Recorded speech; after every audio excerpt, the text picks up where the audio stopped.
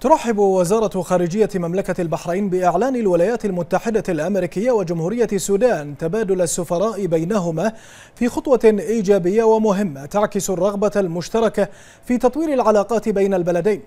وتؤكد وزارة الخارجية أن هذه الخطوة تعد دعما مقدرا للحكومة الانتقالية في جمهورية السودان الشقيقة ولجهودها الرامية لتعزيز الأمن والاستقرار ورفع اسم جمهورية السودان من قائمة الدول الراعية للإرهاب وكافة العقوبات الاقتصادية